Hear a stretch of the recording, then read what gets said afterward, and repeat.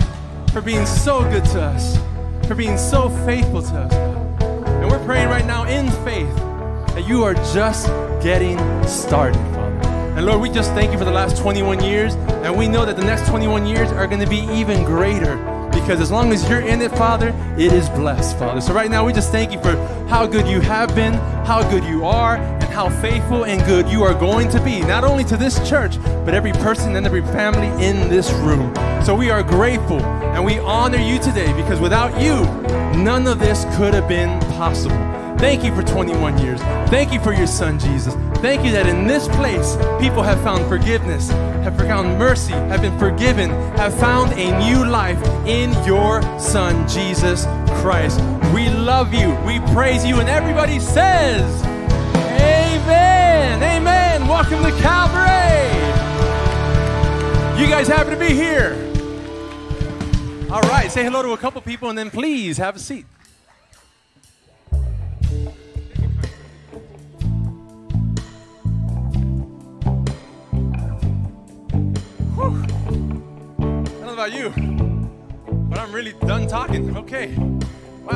Welcome to Calvary.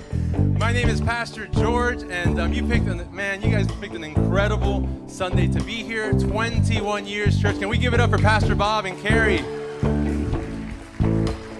Listen, this church started out with seven people in a living room. Look around, everybody.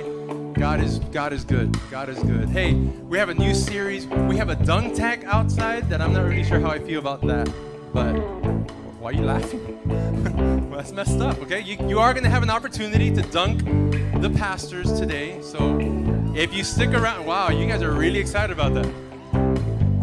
I thought you guys were my friends, okay? But anyway, before we get into all of that, we've got to drop, drop, uh, drop right into the connection card that you received on the way in. So it looks like that. Regular tenders, you know what's the deal first name, last name, and email. But if it's your very first time with us here at Calvary, on behalf of the entire staff, thank you so much for being our guest today. We would like to ask you to please fill out the entire front portion of that connection card. And here's the reason why. Since the very beginning of Calvary's story, we have existed as a church to help people take a next step with God. And on the back of that card, you're going to see several next steps that you're going to be challenged to take. And by filling out the entire card, you're letting God know, God, I haven't even heard all the music yet, haven't heard the message yet, and I haven't even dunked the pastor yet.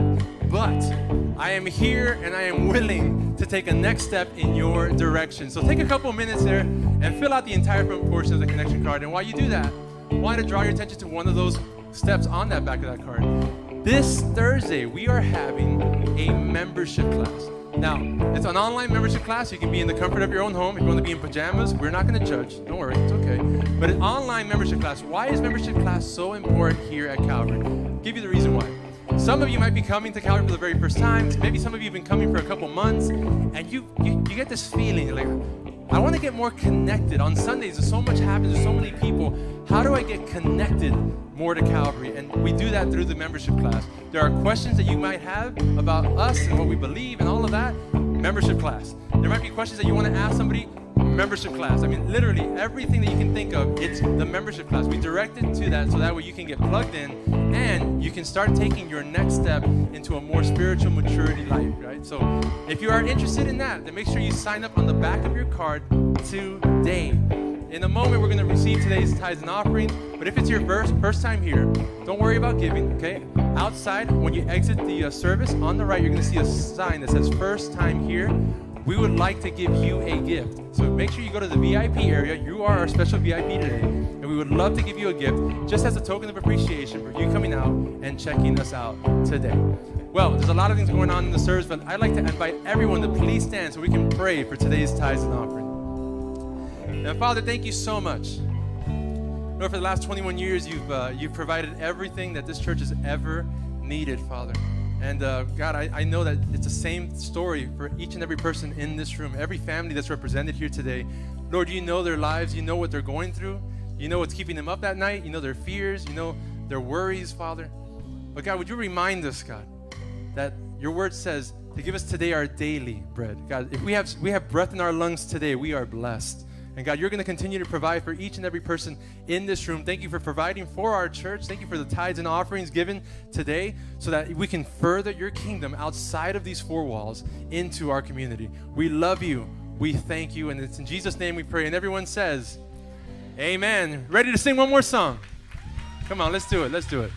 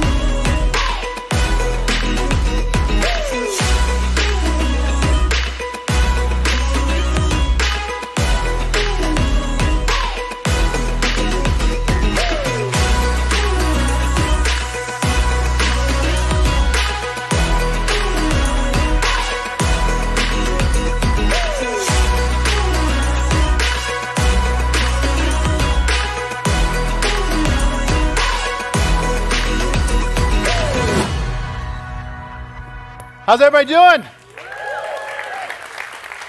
We are so glad that you're here with us. 21 years. Wow. Yeah. Pretty crazy. I, I don't know what you were doing 21 years ago, but I remember what I was doing 21 years ago. I was in a panic. Uh, we were having our first service in this little hotel in, in Miami Lakes, and um, the the room that we were meeting in is about the size of my office upstairs, just to give you an idea. And we, uh, they had this little like business, you know, area where they had like a printer and a desk. So I was sitting at the desk, and it was pouring rain in a way that it can only rain in Miami. And so, and I was thinking like, no one is going to be here. And so I was just praying and looking over my notes. And then I walked over, it was almost 10, that was when our service was. And because I was also the worship leader. Um, and that, that was always an interesting thing. That's why, if you've ever noticed, we always greet in the middle. Um, the reason why we greet in the middle is because I was the worship leader. And after I was done leading worship, because I'd stand over here, I'd lead worship. And then I'd say, all right, hey, let's say hi to somebody. And that would give me an opportunity to take the guitar off and then stand over here and be like, hey, thank you for that time of worship. And then I'd start talking. It was very, very bizarre. And that's, people thought I was probably insane. But anyway, uh, but the year 2000, things, so many things are different. In the year 2000, there was no homeland security. So, so if you were picking someone up from the airport, you could walk right up to the gate and, and pick them up. If you were dropping someone off, you could just you could walk right up. I mean, it was, it was a different time. In, in the year 2000, we didn't even know McDonald's was bad for us. Well, we, we knew a little bit. We, we kind of knew a little bit, but we weren't sure because it would be another four years before the Super Size Me documentary really confirmed for us what it was. And uh, in, back in 2000, um, everyone I knew, we were in a time of transition in 2000, uh, but everyone I knew, including me, had a beeper and a cell phone. Because in, in the cell phone world, you only had like, let's just say two hours of talk time a month. That's why every time someone called you, you were angry. Like, what? Uh huh. Okay, mom, I'll be right there. And they hang up. It's like, it was fast, fast. Because there's no like, uh huh. And so what are you doing? No, there's none of that. So that's why there was like most people you would just give your beeper number to, and then it was only like the inner sanctum that got your cell phone number. And, um, and then people would have all these different, you know, there was all these codes on, on you know, like, obviously it was 911. But if it was like, it's important, but not super important, it was 811. 711 wasn't a thing, just FYI. So anyway, there was all kinds of things, and if, you know, so there was, um, and and by the way, th- because of the beeper thing, it changed fashion. Everyone wore a belt back then, even with their shorts. They wore a belt because they needed somewhere to clip the beeper. And so, and everybody had that. It was like you look, you watch movies now. Like, who were these nerds that were? And it's like it was everyone on the planet was clipping their phone, and then they had like these little cases that they put stuff. Anyway, um, church was different. In church, the most power back in 2000, the most powerful person in the church was not the pastor, right? nowhere, nowhere near it. The most powerful person in the church was the person who ran the overhead projector in the church services. Now, some of you have no idea what I'm talking about, but in, before like screens and most people didn't have laptops back then, but you had um, people would have these like overhead projector like you had in, in class. And so they would project the lyrics. And so they would print everything out on this clear paper. And then there was then the person who ran the overhead projector, they would have this other blank sheet of paper and they would just give you one line of lyrics. Like that's all you could handle. They're like, give us the next one. No! Like one line. And they were just like, and I don't know, there was this, I, am telling you, I, don't, I can't even describe it. There was like a sense of anticipation of when they were just like, they just gave you that extra line. And then, like, they would take the, that off, and th- there was like this very intricate file system. Like, you wouldn't be like, hey, we're just going to mix it up. Like, oh, you did not mix it up. Like, there was a very, it was a very interesting thing. And, um, and by the way, and if you didn't like it, there was nobody to complain to, right? Like, I mean, you would have to like write a letter. Dearest pastor, this past fortnight, I arrived at your church. Like, there was no, you, I'm like literally writing letters. And then, or you could unplug your landline, plug it into your big clunky computer, put in your AOL disk, to dial up to America Online. Then you'd wait for the little paperclip guy to show up because you still hadn't mastered how to send an email. And then you would send that, that email. And who knows if it would even be read. I'm telling you, things were, things were so different back then. Um, the 2000 election was very contentious. We weren't even sure who won. Well, I guess maybe things haven't changed. But um, so uh, it's very different.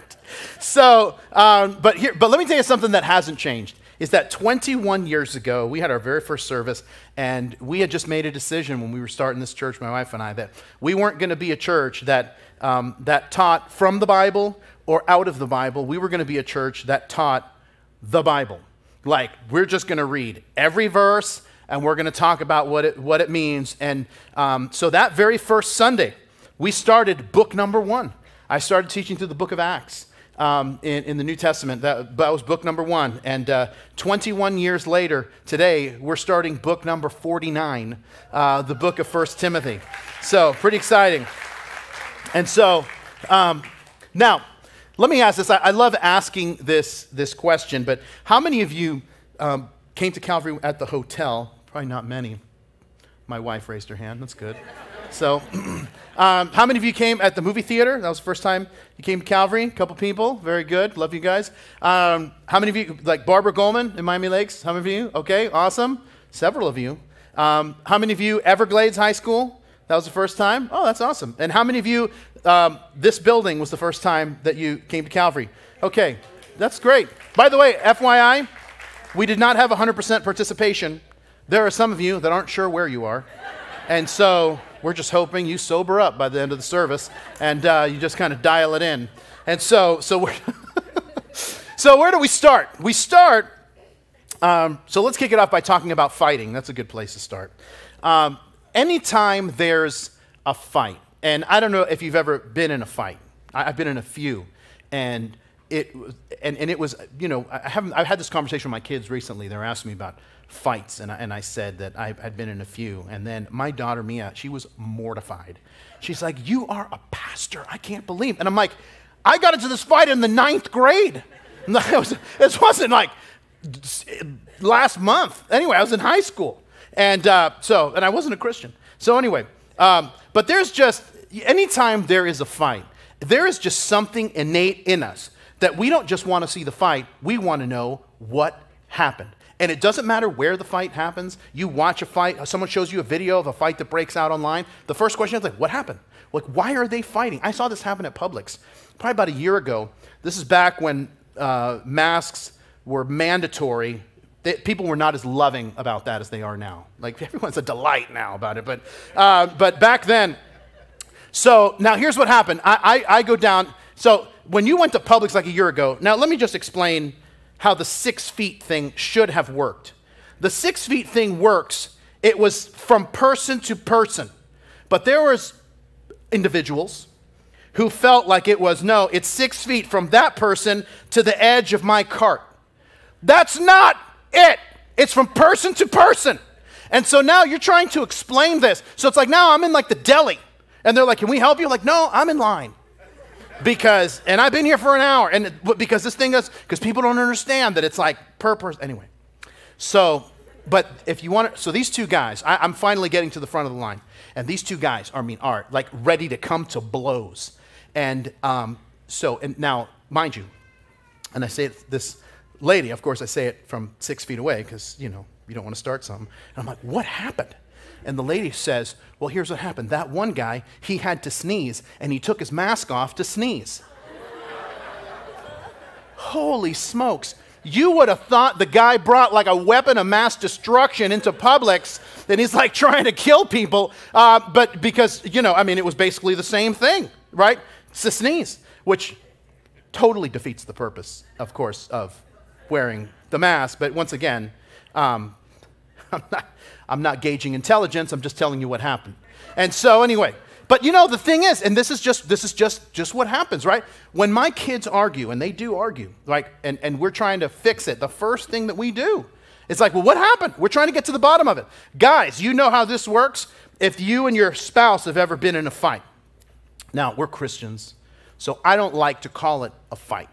If you're a Christian, I like to call it intense fellowship. And so feel free to use that. Do like, do you and your wife fight? No. We've had some intense fellowship now and again over the last 24 years. And so, um, but once again, and, but, and this usually happens with guys, but can I ask this? Now, guys, have you ever had intense fellowship with your spouse? And so you guys were having an argument, and what you thought the argument was about was not what she thought the argument was about because you thought the argument was about the thing, and she saw the thing as mere symbolism to what the real issue is. So it's like, you don't take out the garbage. And you're like, okay, I'll take out the garbage. And then it's, she's still mad. And, and you're like, I don't understand. I took out the garbage. And she's like, you don't even understand that the garbage this is the representation of our relationship and how you put everything before the garbage. This is the problem. And they're like, Do I need to buy a bigger garbage can? And now, now, there's like three fights going on. There's the garbage issue, there's the, the, the garbage is a symbolic it, it, it, it is the symbolism of our relationship. And then there's the third one that you don't get it. There's three fights going on. And, and you still, and, and, you're, and you're like, do you buy different trash bags? When, what day does the garbage go out? You know, and, and it's like, and, and there's, there's a whole problem. That's why there's a secondary and, and third, there's all these like sub layers. And, and now, if you're single in this room, I know what you're thinking. You're like, being married sounds complicated. It is. And they're like, well, so why do you get married? Because eventually you die. So it's, Thankfully, it's only for life. And so now, I'm not saying that for my marriage. I'm saying that for other people. Those people that attend at 10 o'clock, they are messed up. Those people need Jesus. And so, um, you guys seem like a delight. You really do. You seem delightful. And uh, so maybe it's because you got like an extra two hours of sleep. Um, so, but here's the thing but you, the, the way it works is that you never find reconciliation until you both know why you're fighting and you have common ground as to how to work it out. The book of 1 Timothy is about fighting the good fight. Not fighting any fight, it's about fighting the fight that matters. And here's the challenge that we all face, right? Especially th- those of us that are Christians. We live in a culture that's always changing. We live in a culture that's always changing and that's redefining truth and spinning truth and, you know, kind of twisting truth at times. And, and, and what most of us, once again, those of us that, that, that have come to know Jesus, we recognize something that truth, real truth, doesn't change. That's why I always love when people tell me, like, I don't believe in absolute truth. And I love to respond to them and say, Do you believe that statement? Absolutely. And they're like, What? And I'm like, All right, think on that and then come back. And um, now, there's advancement, there's discovery, and that's always a good thing. But listen, if you decide that truth is not a constant thing, you will spend your whole life drifting, wandering, and wondering because you've got nothing stable to build your life on. Now, but we find ourselves in a bit of a predicament as Christians, and that is do I just kind of agree with the culture that's always changing, or do we stand up and fight? The problem is we don't fight like other people fight. We don't sling mud, we don't get personal, we don't make anyone who disagrees with us our enemy. We don't do that because that's not the Jesus way. What we do as Christians is we love people that we disagree with. We stand for what's true and we show them what's right by how we live and how we answer because the way we answer, it's not just about being right. Sometimes it's the way that we answer what it is that we believe that sometimes can speak more um, than just the, the, the rightness that, that we have. You see, because I don't know if you've noticed this, but you can't argue someone into the kingdom of God. Isn't that interesting? And yet, so many times, what people want to do is argue. I don't know anyone's story, right? They give this great testimony. You know, I got into this huge argument with my friend.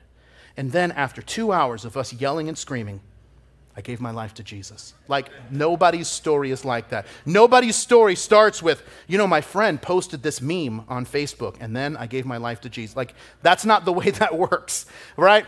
But what happens is, is that we, we've got to do what we can to have good answers to people's questions and live with so much joy that it attracts people to the life that we're living. And listen, that is what changes people. There's this phrase I've used a million times over the years where someone will come up to me and tell me that they disagree with the Bible or Christianity or whatever. And, and, uh, and, and I'll just say to them, I'll say, well, you know, this is what I believe. Okay. How's that working out for you? And I, I'm, I am so surprised by how enraged people are by my question about how it's working out for them because I'm going to give you a little secret. It ain't working out for them. That's why they're mad.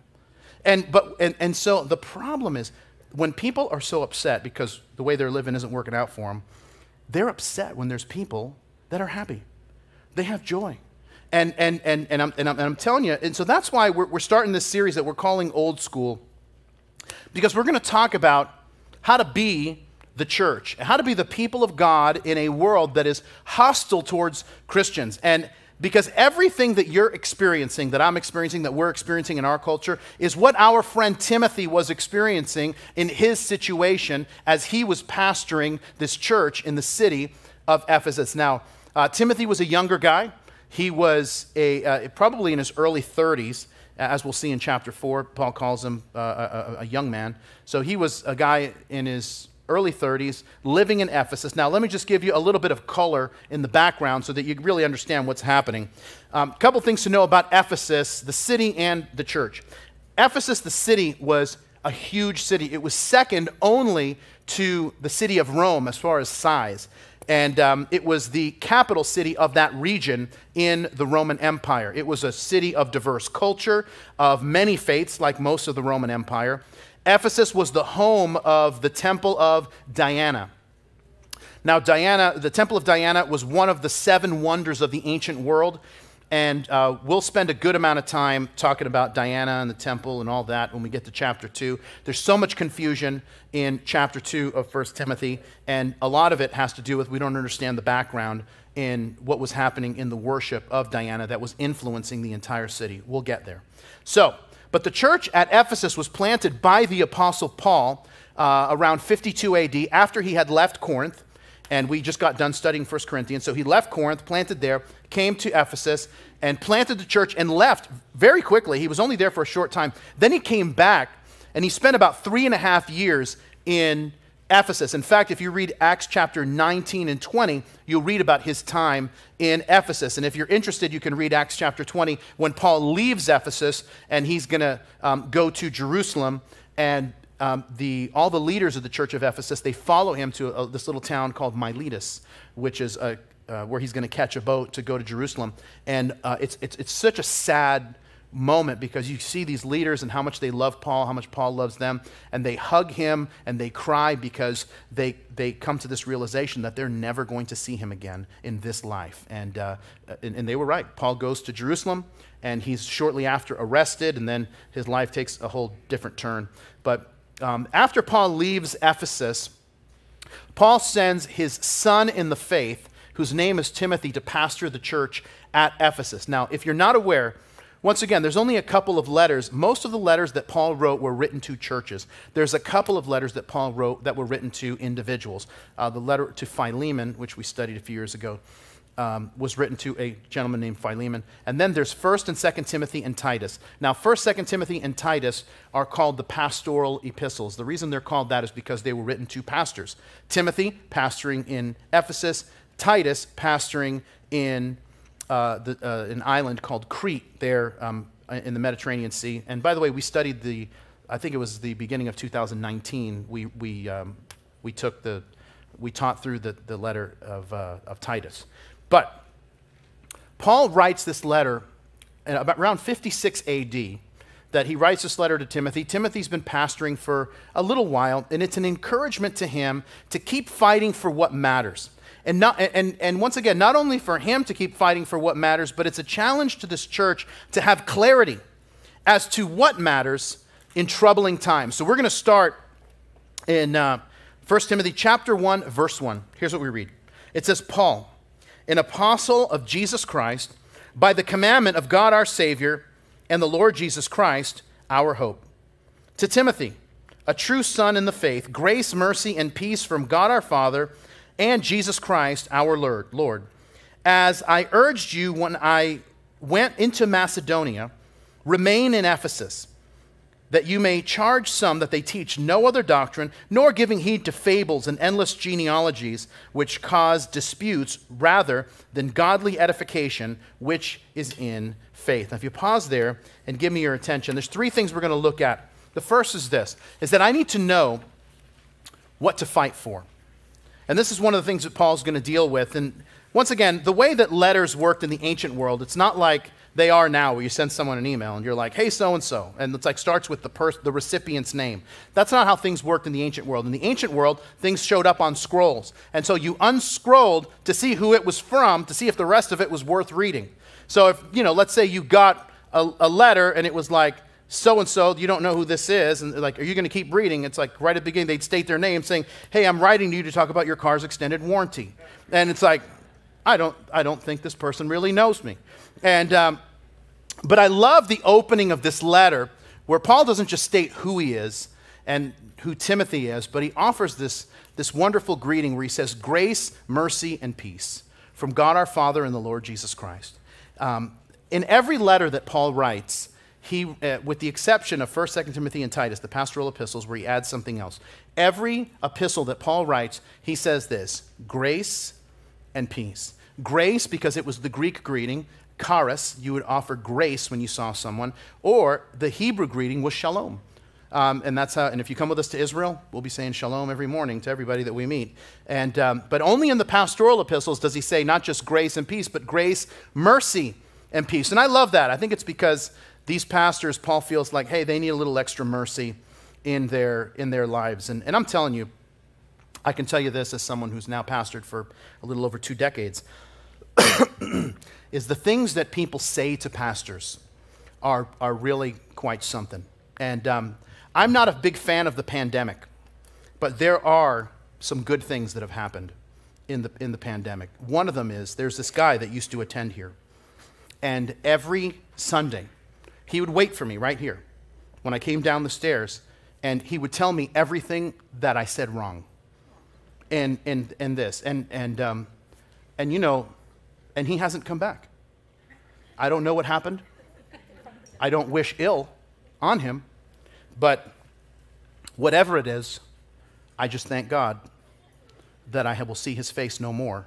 Um, because, you know, the first time you say it, you're like, okay, all right, yeah, something to think about. And then the second time, he says a thing, and you're like, okay.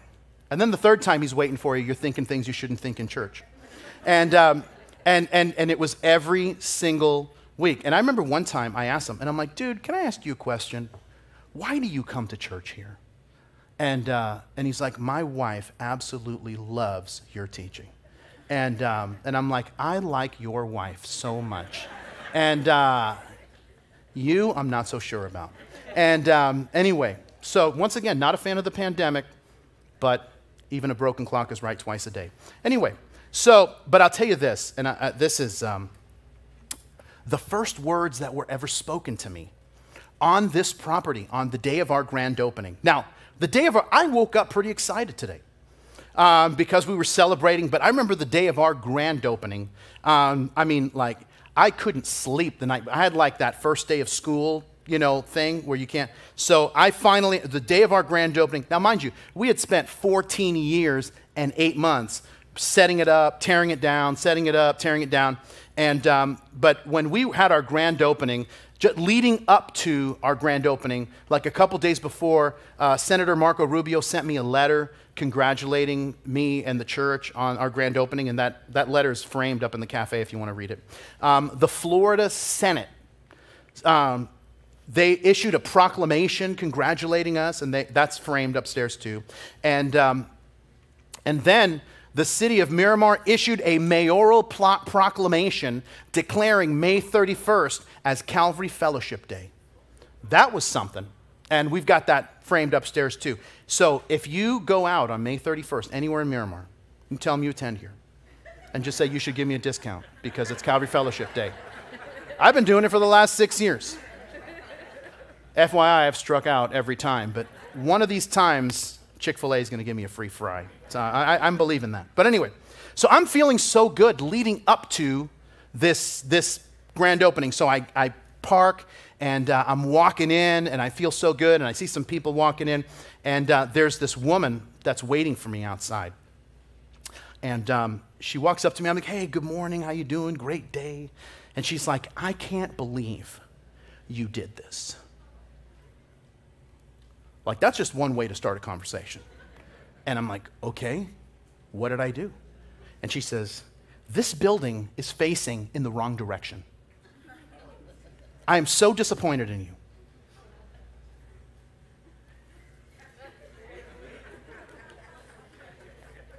And I, what, I didn't, there were architects, city officials who told, like, we would like to plant a building here. Okay, it's got to face this way. And, and, I'm, and I'm trying to, and I'm like, what would you these are the first words that were ever spoken to me was how disappointed someone was in, it, it was in me because of the direction that this building was facing and i'm like ma'am what would you like me to do would you like to go in the back and we can push and she's like i'm just so disappointed and i'm like and, and, and i'm like well god bless you daughter of satan and um, so I whispered the last part, but I meant it. So, so that's why I, just, I, I, I, get comfort from that. It's like not just, not just grace and peace, but, but some mercy thrown in as well. But Paul, he encourages Timothy with some mercy and then challenges Timothy to stay where he is because there's important work to be done in Ephesus. And I love what he says in verse 3. He says, I urged you when I went to Macedonia to remain. And once again, the, the prosmeno is, is the word in Greek, that word remain, which means to hang on, to hang in, and to persevere. And can I tell you that we, we all have this, um, we get excited about the new. And, and I get it, right? I, I, apparently, every person I'm friends with watched the Apple thing where they're explaining, like, and I'm getting texts from all my friends, did you hear what they got? They got this new, thing, right? Everybody's excited about the new. And the new immediately creates dissatisfaction with what you currently have. And that's just kind of how it's built, what it's built to do. What's different? Would they move the camera? So now instead of the camera being like this, blow your mind. Now it's like this. It's like, can you believe it? And I'm like, okay, um, I think I'm to stick with what I've got. But, but anyway, but we just get excited about the new. We get excited about the new adventure, the new home, the new opportunity. But listen, can I just tell you something that many times the thing that we're looking for is found in remaining? And listen, we can do this. We can do this in relationships with marriage. If I, if I was married to someone else and was somewhere else doing something else, we do it with our career. If I was, you know, do, doing something different with someone different. And, and, and listen, we do this with church too. And, and the reality is, can I, can I just encourage you in the way that Paul encouraged Timothy? He said, bloom where you're planted.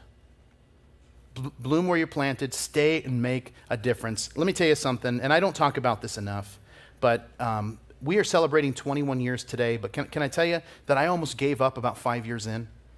Um, and it was such a difficult season. Nothing was going right. I was emotionally wiped out. And um, my wife and I, we didn't have kids yet, but we went out to dinner, and I told her, and, and I, I was like on the verge of tears, and, and I'm like, I just don't believe I can do it anymore. And um, I'll never forget this moment as long as I live. And she held my hand and she said, Well, if that's the case, how about for right now? I'll just believe for the both of us. And um, it was amazing. And um, yeah. If you aren't aware, my wife is the unsung hero of this church. She has served in so many capacities, has never sought um, any recognition. That's why half the people in this church don't even know who she is. She's just, uh, I'm telling you, she is the most heroic person that I know, uh, the person that I most admire in the world. Um, I, I, make that joke about being married, but someone asked me, they said, I know you don't believe in reincarnation. I said, no, the Bible doesn't teach that. They said, but if you could come back, who would you want to come back as? I said, if I died and had to come back as someone else, I would come back as my wife's second husband. Um, because because one lifetime isn't enough. So, um, thank you. Feel free to use that later. so, but can I just tell you something? Listen, that conversation, um, that saved my life. And every story that's worth telling is a story of people who remained, people who didn't give up, people who did hard things and watched God work because they didn't bail. And sometimes we make this mistake that thinking resistance is that God isn't in it if there's resistance. Listen, maybe the resistance is why God called you. And that once you fix what's broken, you get to then enjoy the blessing of God. And once again, that's why Paul calls it the good fight. And we'll see that at the end of chapter one, that it's a fight that's worth fighting. You talk to a marriage where two people just refused to quit, and now God is blessing their marriage. Listen, it's this beautiful story of God's redemption. It's a beautiful story of God's grace, and now it's a relationship that's full of wisdom. You talk to a parent that has a wayward child, but they refuse to quit on their child. When that child comes around, it is this beautiful story of God's redemption. And, and the power of remaining now becomes an encouragement to others who are thinking about giving up. But when they see that you remained and that what God has done in your life because you remained, now they remain and they see what God can do with them. That's why Paul goes on in verse 5 and he really hammers this point home. He says, Now the purpose of the commandment is love from a pure heart, from a good conscience, and from sincere faith, from which some, having strayed, have turned aside to idle talk, desiring to be teachers of the law, understanding neither what they say nor the things which they affirm. Now, if you pause there and give me your attention, here's the second thing I want to tell you, and that is I need to know how to fight well. I need to know how to fight well. Paul is charging Timothy to protect God's people in the church by not allowing random people to start teaching weird doctrine. When he says teach no other doctrine, he's saying, no, you don't allow people to teach things that are contrary to what Paul, the apostles, and Jesus was teaching. And he, verse 4 tells us how they did that. In verse 4, it says they were giving heed to fables. Fables is the Greek word muthos, where we get our English word mythology. In that culture, Roman and Greek mythology was pervasive. And in a city like Ephesus, where the temple of the goddess Diana was there, I mean, and she, by the way, if you're not aware, um, when Rome came into power. They, had, they took over what was the Greek Empire. And when they took over the Greek Empire, they adopted all of the gods of the Greek culture. And so that's why the Greek and Roman gods are the same, they just have different names. So Diana is the Latin name of the Greek goddess Artemis, who was the goddess of witchcraft and um, fertility and, and all of that. And so when we get to chapter two, we're going to see how that cult of Diana that was so pervasive in, in the city of Ephesus was causing all kinds of problems in the church that Paul is going to address. But then he says not just fables, but he says endless genealogies, a reference to Jewish teachings that were not rooted in Jesus being the Messiah. In fact, not that long ago, um, Jewish writings were discovered that dig into these really complex genealogies, connecting them to these spiritual mysteries and all of it nonsense. And once again, the problem with these teachings is that all they did was cause disputes and problems. But what Paul does is he says this in verse 5 the purpose of the commandment, the purpose of our teaching is threefold. It's really just singular. He says the purpose of the commandment is love. But then he actually goes and defines that a little bit further, and he says it's love from a pure heart, love from a good conscience, and love from a sincere faith. What does he mean by that? Love from a pure heart. If you're a note taker, we say, we're saying that it's love without ulterior motive. We've all experienced this. Someone does something nice for us, someone gives us a compliment, and then comes the ask which is the real reason they did the thing that they did in the first place. And the problem with ulterior motive is that the thing that they did gets erased by the heart not being right with the improper motive. That's why Paul would say to the Philippians, he would say, Let nothing be done through selfish ambition or conceit, but in lowliness of mind, let each esteem others better than himself. If you're married, you understand what I'm talking about, right? Couples, have conflict over three issues they have conflict over money, communication, and sex. Those are the three issues that um, couples fight over. If you're a guy, you heard something, something, sex. That's, that's, that's what you heard. And um, now, and let me tell you how this, how this works, right? Hubby gets home from work, and he's looking for, for some romance. And once again, nothing wrong with that. Nothing wrong with that. That's a good thing. But he decides that He's going to clean the house. He's going to bathe the kids. He's going to do the dishes after dinner. And then, if the evening doesn't go as he planned, there's a problem. The wife is detecting that there's some kind of glitch in the matrix. And she's like, What's the problem? And he's like, I did the dishes, I bathed the kids, I cleaned the house, and nothing's gonna happen. And then she starts to put the pieces together. So the only reason that you cleaned your house, right? The only reason you spent time with your children is because you had an ulterior motive? And he's like, Of course, that's why I did it. It's like I wanted the good housekeeping seal of approval. And uh, no, that's not what you say. Only a madman says that. And he says, No, baby, baby, baby. I live to help you and the kids. It is my joy to clean and vacuum. And uh, listen, that story doesn't end well. That's not autobiographic, by the way. Um, some loser, I know. Pray for him. Uh, so but here's the problem: is that you can do the right thing, but if you do the right thing for the wrong reasons, the wrong motive reveal that our heart isn't right. And that's why he says, look, it's love that's from a pure heart. That's why he says also, it's love that's from a good conscience. Now, this one is a little more challenging, and so that's why in our notes we put uh, that it's love with the right reasons. Now, the challenge that we have is this, is that sometimes like, well, what do you mean that's love with a pure heart? So let's, let's kind of back into it because sometimes we don't see it, but we, we know what the opposite looks like. We know the opposite of not from a good conscience, but what is uh, something that's done, what's love from a guilty conscience look like? Uh, it's similar to the first one. In the first one, when you have the ulterior motive, you're doing something good to get something out of the other person. When you have when it's love out of a guilty conscience, you're doing something good so that you can feel better about yourself. The problem is when you live with this perpetual guilty conscience, you know that it is a terrible way to live. And so you feel bad about working too much. And you know what happens when, you, when you're a parent and you feel bad about working too much?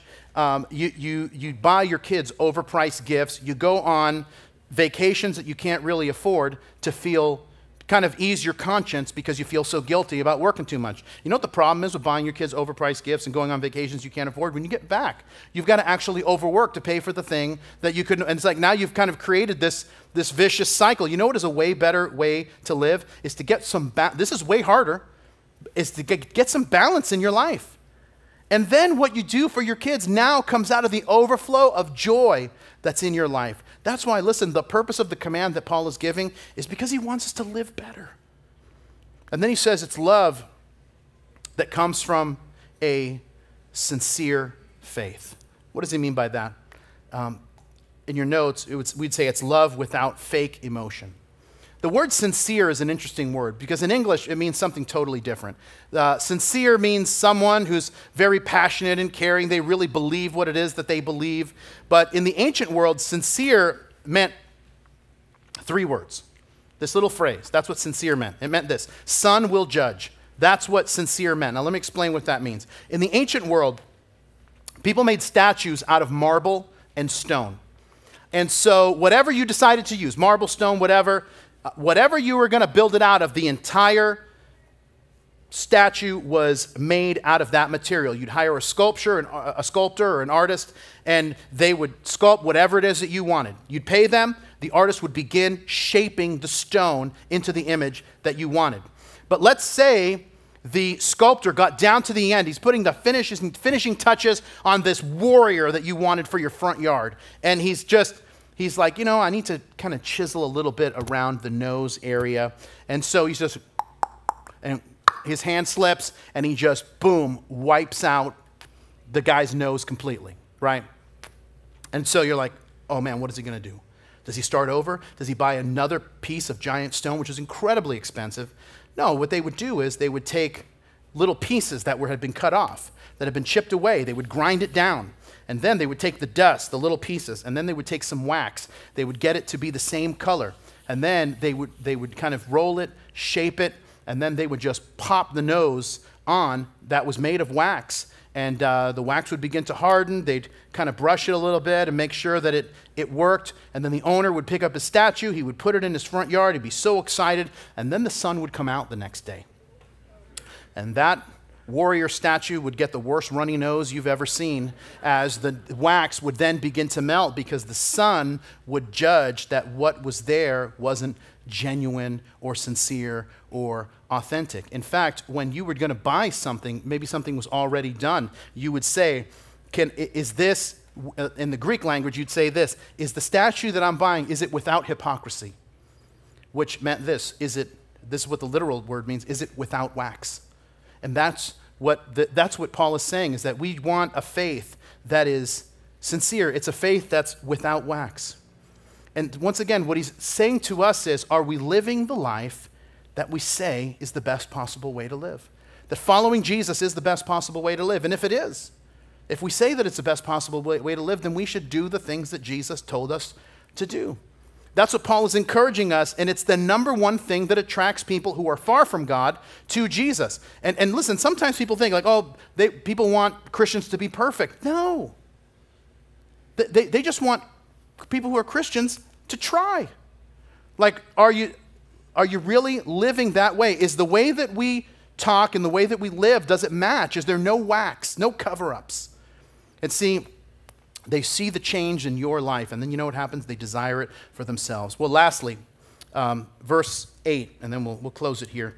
He says, But we know that the law is good if one uses it lawfully, knowing this, that the law is not made for a righteous person, but for the lawless and insubordinate, for the ungodly and for sinners, for the unholy and profane, for murderers of fathers and murderers of mothers, for manslayers for fornicators, for sodomites, for kidnappers, for liars, for perjurers, and if there is any, th- any other thing that is contrary to sound doctrine, according to the glorious gospel of the blessed God, which was committed to my trust. Last thing I want to tell you, and then, then we're done, is that I need to know why this fight matters. You see, now let me explain something. Paul lists these kind of various sins. Why does he list these particular ones? Is it because he has some kind of axe to grind? No. It's because of what he says in verse 8. He says this that we, the law is good if one uses it lawfully and that the law is not for a righteous person. Paul was warning against these people that wanted to be teachers of the law. Paul's saying the law is great, but if you understand the law correctly, you realize that all of us break it. None of us can actually meet the standard of the law, that it was actually written for those who don't obey it to show us that we can't keep it. Now, and, and we, we understand that. Let me explain it this way. Is, um, so we just got back this past uh, Sunday afternoon from a marriage retreat that we do every year at Calvary, and it was fantastic. Yeah. This was literally our best year yet, and I, you really need to be there next time. So um, you've got 11 months to meet someone, propose, get married, go on your honeymoon, and come back before next September. That is pl- any person that's truly motivated can make that happen in half the time. All right? Now, uh, so this is about seven years ago or so. We were on our way to our, our retreat. We were on our way to Naples, and um, we had a babysitting issue, and so we had to take the kids with us. And so uh, we're driving to Naples. We're on Alligator Alley, and I didn't even realize it, but I was going about 90 miles an hour. And even though all I kept thinking was, man, I'm making such good time. And um, because that's basically because men turn everything into a competition. Once you plug in the number on the GPS, you're like, can I beat that time? Right? That's, that's what we do. Oh, someone test, someone's testifying back there. All right, very good. Very good. We'll take a road trip. So anyway, so, so what happens is I'm just, I'm going for it and uh, the lights turn on and I'm like, oh, oh no, I'm going this fast. Cop pulls me over. And by the way, as far as cops go, nicest cop that's ever given me a ticket. And, um, and so, and I've met a few. And so, and so anyway, we're having a conversation. He gives me a $250 ticket, which that hurt me down to my core. And, um, but he said, listen, but he was telling me, he was, he was, you know what he was doing? Just trying to encourage me. And he's like, listen, Mr. Franquiz, um, you can't go that fast. You can't go that fast. You can't put your family at risk. And I know you'd never want to do anything that could potentially harm your wife and your children. And I was like, yes, I agree. You know, I'm like, I'm like, I'm, I'm amening him and, and, and from the driver's seat. And, um, and so anyway, so he, he leaves and I go to get back on the road. And my daughter Mia, that's around seven at the time, she says, Dad, you need to slow down and drive the speed limit. And my wife is like, Could you please leave your dad alone, cut him some slack? And Mia's like, Didn't you hear the cop? I'm the victim here. And, uh, and so, wait till she starts driving. And so, anyway, but you know what? You know what happens when you come face to face with the law? It changes you, doesn't it? Like you get a ticket, and then like you don't speed away from the cop after he gives you a ticket. Oh no, you're in like the you know the breakdown lane, and then you're like, okay, I'm gonna go. You turn on the you turn on the car, signal. You're right. You're like oh, then you move over, and then you know you're, you're driving, your hands at the 10 and 2 position, right? You turn off the radio, put your phone away. No talking. Trying to do something here, right? Right. Why? Because the pain of coming face to face with the law and the reality of what you needed to do but didn't do changed you. What Paul does, this list of things, uh, this list of sins that he does, this isn't all at random. What he does is, when you realize that, if, you take a moment to study it, you start realizing Paul is using this. This is the Ten Commandments in the negative. He's using the backdrop of the Ten Commandments and showing us this is what happens. The law is for the person who isn't keeping it. And so what he does is, is that he says the law is for what? Um, the ungodly, or the unholy and profane. That is, people who break commandments number, number, number one through four. Have no other gods before me, uh, no idols, don't take the Lord's name in vain, and uh, honor the Sabbath. He says, murderers of fathers and murderers of mothers. Why does he say that? Because that is the opposite of honoring your parents. He talks about manslayers. That's commandment number six, not, not murdering. He talks about um, fornicators, uh, which is sex outside of marriage. He talks about sodomy, homosexual sex. That's listed in not committing adultery, and that is honoring the Bible's sexual ethic. He talks about lying and perjury, which are references to commandment number nine. And then he says, and anything else that's contrary to sound teaching. And then he says, you know, according to the glorious gospel. Now, just so you don't think I'm going to skip over the hard stuff, let me go back to the thing that you're still thinking about. Um, when he talks about fornication and homosexuality that Paul lists as sins. Let me just tell you what the Bible teaches, um, and sometimes maybe why we, we have an issue with it. The Bible lists any sexual activity outside of the bonds of marriage between a man and a woman as sin. That doesn't mean that God hates anyone, just the opposite. God loves you no matter what you've done. But God doesn't necessarily approve of everything that everybody does. The challenge that we have, and once again, this is our issue. The challenge that we have is that Christians, especially here in America, we have kind of winked at God's commands about sexuality, marriage, divorce. And then when it comes to homosexuality, we're like, this is where we got to put our foot down. We got to be biblically sound. The problem is this no one believes us anymore. We've gotten divorced like the unbelieving world. We've had sex outside of marriage like the unbelieving world. We've lived together before marriage like the unbelieving world. We've had adulterous affairs like the unbelieving world to the point where the church has lost its voice. That's the hard truth that we have to deal with. The only way that we can speak to our culture about a proper sexual ethic is about getting our own house in order and modeling it as the church. So, once again, when we talk about homosexuality, is it a sin? Yes. There's no way you can navigate the New Testament passages on the topic otherwise. And I know sometimes people want to make it that it actually means something else. It doesn't. And by the way, um, one of the arguments that people make is, well, this, the, this cult, the culture didn't really understand homosexuality the way that we do. Listen, an argument could be made that they understood it better than we have understood it. 14 of the 15 Roman Caesars were openly homosexual. The philosopher Socrates and most likely Plato were both homosexuals. Now, let me just say two things before we move on. And that is this we don't hate gay people, and it, nothing makes me crazier than these people that hold up signs about who God hates. You want to know what God hates? Uh, Proverbs chapter 6 will tell you what God hates. God hates people who divide other people people who shed innocent blood. You read all that. People who are proud. God hates that. But listen, we're simply talking about God doesn't hate um, people who are gay. We simply believe that we believe in a different sexual ethic as Christians. And to say disagreement means, well, that means you hate LGBT people. No, that's a weak argument. No, we don't hate anybody. We don't hate adulterers or anybody else that's, that's on the list. According to the Bible, homosexuality, like any other sin, is less than God's best for you. And by the way, God calls all sexual activity outside of marriage sin. And if you're upset with that, your problem is not with me. In the kingdom of God, listen, I'm in sales, not management. So, FYI on that. Some of you are like, you're just you're going to get that on the way home. So, but listen, every human being is a sinner. Every single one of us, we're all broken. We all struggle with different things. And by the way, um, it's, it's hard to encapsulate all this, and I'm like way over time as it is. But the problem is that if you read the next, and we're going to spend our next message, finishing chapter one, focusing on this, where Paul has listed all these sins, and then Paul's going to list his own. And then he's going to say this that out of every possible person on this planet, he's the worst. Paul's going to say, I am the chief of sinners. Because according to him, he's like, I did the worst possible thing you could do.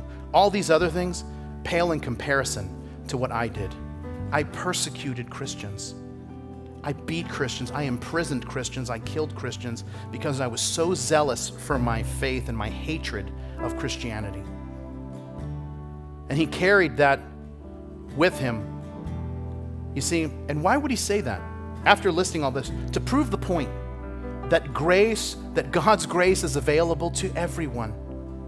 That when you think you've gone too far, and uh, listen, all of us would, would have, if we knew Paul back then, we'd be like, listen, this is the guy voted most unlikely to convert to Christianity, was this guy. He hated Christians. But maybe the people that we think are too far are the people that God is just getting started on. And maybe that's where you are today. You're in the place where you wish things were different. You wish you had made different choices. You wish things had turned out differently. Listen, what you needed and what you need right now is the same thing someone in your corner who will stand with you when you need it most. Um, I was having this conversation a while back with my stepbrother. Um, he lives in Los Angeles, but he was visiting and he And I said to him, I said, Hey, do you remember Russell and his older brother Eddie? He's like, Oh, yeah, they lived a block away from us in uh, Brockton, Massachusetts. And I, I said, Yeah. And I said, I don't know if you know this, but Eddie used to kind of bully me when I was in like third, fourth grade. And, um, and even his younger brother Russell would harass me, knowing that if I did anything, that Eddie would show up and just pulverize me. And but I said this, and, and I said, uh, you, you didn't realize this, but when your dad married my mom and you came to live with us, um, Eddie tried to mess with me one day. And you got in between us and you told him that's not the way things work anymore. And he left me alone. Um, simply because, and I didn't have to be afraid anymore, because there was someone who was willing to fight for me. Can I, I just want to tell you something that when you give your life to Jesus, Jesus is the one who wants to stand with you. He's the one who wants to fight the battles you can't fight alone. That He wants to forgive you and transform you and do the thing that you've been trying to do so long, and that is take the regrets of the past and the shame of the past and the poor decisions of the past and actually put them in the past and move on. Listen, what I want you to know is that God is for you. He's for you. And He wants to transform your life. And all it takes is for you to decide that you want to let Him transform your life. So I'm going to invite all of us to stand if you would. And listen, the beauty of the gospel is that Jesus lived a perfect life. And he died this horrific death, and then he rose again so that we could be forgiven and transformed and changed. And if Jesus rose, then maybe it's our time to rise as well. Our time to rise above the past, rise above our failures, rise above our pain, rise above our guilt, above our fear, above our doubt. It's time to rise up from who we used to be and enter into God, who God has created us to be. I truly believe that this can be your moment and that He can take your life and transform it. And you know what the beauty of that is? Where that begins? It begins in this wonderful thing called forgiveness, where God is going to forgive you of everything. And I want you to think about what that would mean to be forgiven of everything. That you don't have to carry around this weight of what could have been and what should have been and what would have been said and I just I didn't realize and man but that that was no no no all of that forgiven. That that alone could change the trajectory of our lives. That we could actually walk out today and circle the date on the calendar September 19th this was the day that everything began to change. And it all began with a decision. And the decision was I'm going to stop fighting. Going to stop fighting with God. I'm going to stop doing my own thing. And instead of fighting with Him, I want to partner with Him so God could fight with me and for me. And that He could transform my life and your life. So here's what I want to do before we close. I said, I want to invite you, if you say, Pastor, that's me. I want to leave this place different than I came in. I want Jesus to come into my life and transform my life. This has to be where it changes because I can't continue the way that it's been. And so the band is going to begin to play in a moment. And as they do, I want you to meet me here at the base of the stage. And we're going to pray for you and we're going to call out to God together. And this is going to be the day that everything begins to change. So if you're ready, then this is your moment you walk up and you meet me here. Pastor George, lead us.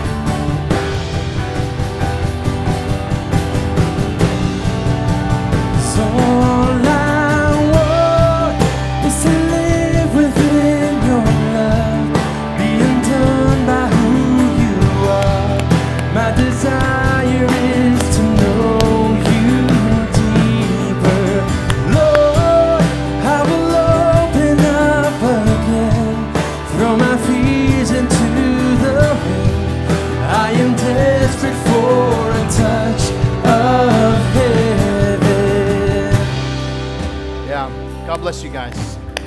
God bless you. Yeah, come on up. Come on up. Come on up, bro. Now listen, I'm going to pray for these that have come forward, but and we're not going to do a whole big chorus again and all that, but if here's what I know is there's a few people who are standing in front of their chair saying, I should have been there. I, this should have been my moment. I should have gone up as well. And you're going to drive home. You're going to drive home with one more regret. And listen, I don't want you to drive home with that one more regret to pile on to the others. That maybe this moment can be the moment that changes everything. I mean, let's be honest. What do you have to lose? Because if nothing changes, nothing changes. But if something changes, then everything changes. What if everything that you've been seeking for God to do in your life is waiting for you right here? Yeah, come on up. We're going to wait for you. Come on. So if you need to come up, I want you to come up right now. Come up right now. Come on, bro. We're going to wait for you. Yeah. Yeah, come on. Come on. God bless you guys.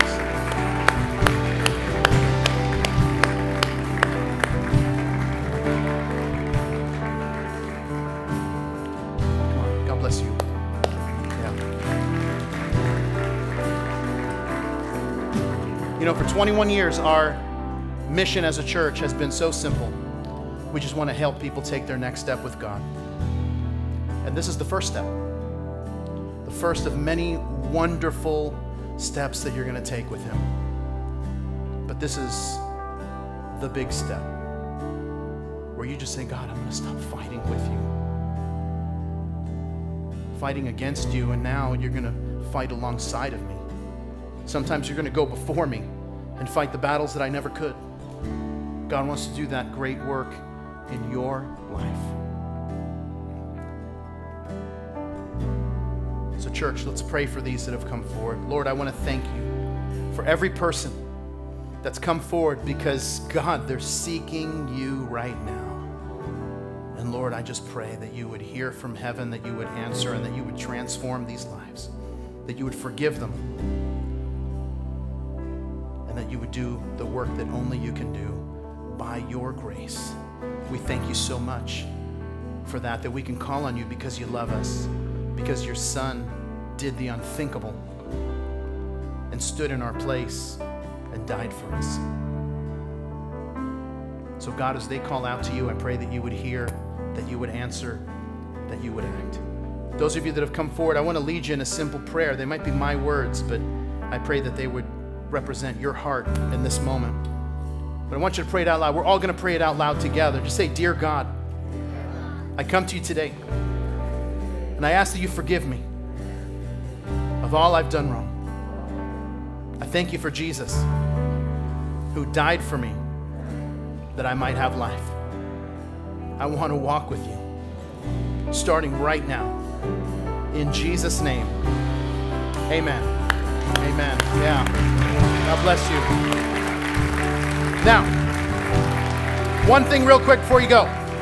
I wrote this little book called Begin, and I want to give it to you as my gift to you. When you step out, um, in just a second, I want you to go out into the lobby to our area. It says VIP. Say, I just want you to say, I prayed with Pastor Bob, and they're going to give you a copy of this book. The thing that I love about this little book is A, it's short, to, it's a quick read, but it's going to talk about you've taken a step of faith right now. Now what? And that's the thing that I love is that it, it's going to help you take your first few steps in your walk with God. So I'm going to encourage you, head out there right now, and uh, we're going to encourage you along the way. So go for it. Just walk out right now, and we're going to meet you there. For the rest of us, can I can I tell you this? There's a whole party happening out there. If you like cake, you're in the right place because we've got a lot of cake. We've got a whole bunch of fun things that are happening. But I want to tell you this, just as we go. For 21 years, we've been helping people take their next step with God, and that isn't something that we've done, it's something that we do together. You invite your friends who are far from God, praying and saying, hey, maybe if, if I can bring my friend, then maybe you'll present the gospel and they can give their life to Jesus. And, we see that as a sacred trust. I want you to know that. We really do. And so, listen, how about we do 21 more together and watch what God does? So, until then, my friends, I love you. The Lord bless you. Have a great rest of your Sunday. We'll see you soon.